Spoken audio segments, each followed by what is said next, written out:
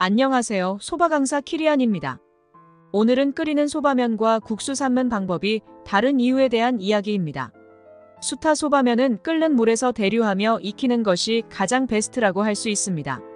물속에 가라앉아 삶아지는 방법은 면 컨디션의 나쁜 방법으로 나고야의 된장.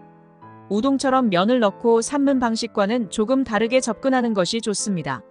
밀가루로 만든 겉면, 국수 등이 삶는다고 말씀드릴 수 있습니다. 된장 국물이 우동면과 어우러지게 만드는 것이 나고야. 미소니 꼬미의 목적이 되기 때문에 대류시키는 것보다 작게 끓여 삶는 상태를 유지하는 것이 중요합니다. 반면 소바를 익히는 과정은 끓여야 하기 때문에 면과 물의 열 교환이 끊임없이 일어나도록 대류가 중요합니다. 가령 낮은 온도의 소바면이 끓는 물에 들어가면 순간 끓는 상태가 멈추게 됩니다. 이것은 소바면에 굉장히 나쁜 영향을 미치기 때문에 이런 현상을 방지하기 위해 면, 무게의 10에서 100배의 물을 사용하고 있습니다. 냉장고에 들어있던 면을 넣어도 계속 끓게 만들기 위한 방법입니다.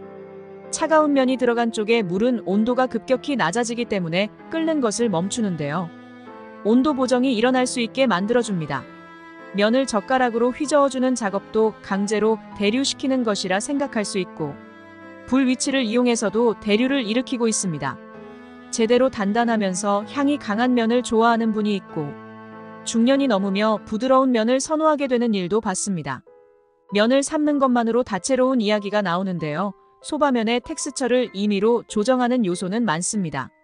메밀가루 본래의 특성 체질을 하며 굵고 섬세한 분말에 따라서도 갈리며 미즈마와시 때 투입되는 물의 양과 잘린 후 면의 굵기로 삶기는 결정됩니다. 굉장히 복잡하게 써놨지만 단 몇십 초 만에 삶는 일은 끝나게 되는데요. 헹굼물의 온도와 cold and hot 메뉴에 따라서도 달리 삶아줍니다. 끓는 물이 준비되었다는 가정하에 소바면을 부드럽게 넣습니다. 한 번에 휙 던지는 것보다 후두둑 떨어뜨린다는 느낌입니다. 투입하면 물의 양과 화력의 차이로 끓는 것을 멈출 수 있는데요. 두 가지 방법이 있습니다. 그때그때의 상황에 맞는 방법을 선택해 보세요. 면을 투입했다면 긴장하지 말고 조금 시간을 주는 방법 1. 소바면이 호화 상태가 될 때까지인데요. 살짝 떠오를 것 같을 때 젓가락으로 강제 대류시켜줘도 좋습니다. 방법 2는 특히 물이 적을 때 투입 직후 젓가락을 사용해 강제 대류시키는 방법입니다. 냄비 바닥에 붙는 최악의 상황이 올 수 있기 때문에 젓가락의 목표는 소바면보다는 냄비 바닥이라는 기분으로 긁으며 저어주세요. 호화되지 않은 수타 소바면에 젓가락을 들이밀면 끊어지기 쉽다는 말은 사실입니다. 오늘은 여기까지입니다. 소바 강사 키리안이었습니다. 감사합니다.